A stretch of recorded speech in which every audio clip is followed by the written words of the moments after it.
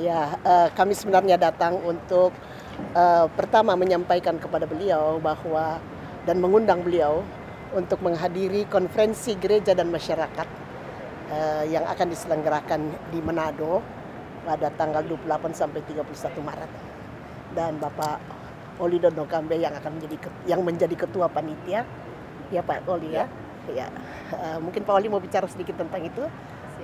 Ya, saya kira uh, kegiatan gereja dan masyarakat ini uh, agenda dari PGI dua tahunan. Nah, kebetulan tahun ini uh, Sulawesi Utara mendapatkan tempat untuk penyelenggaraan kegiatan gereja dan masyarakat ini. Ini terlibat seluruh anggota PGI dan seluruh uh, ormas PGI juga hadir di situ dalam rangka uh, kegiatan gereja dan masyarakat.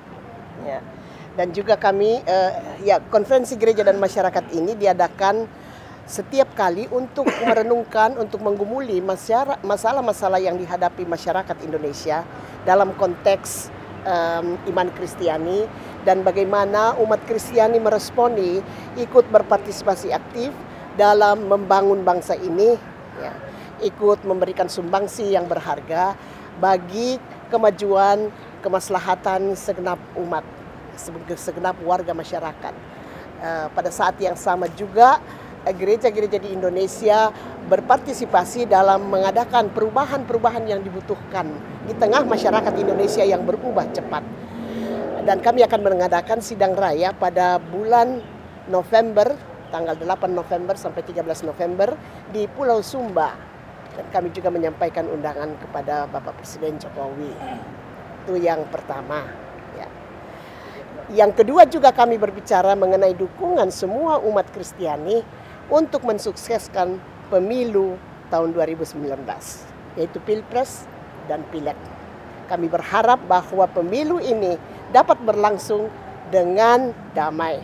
Merupakan pesta demokrasi yang setiap warga negara mestinya ikut bersama-sama bertanggung jawab dan sama-sama kita datang ke TPS untuk menentukan pemimpin kita di masa depan yang akan membawa bangsa kita ke arah damai sejahtera, ke arah uh, situasi yang lebih baik bagi segenap warga masyarakat.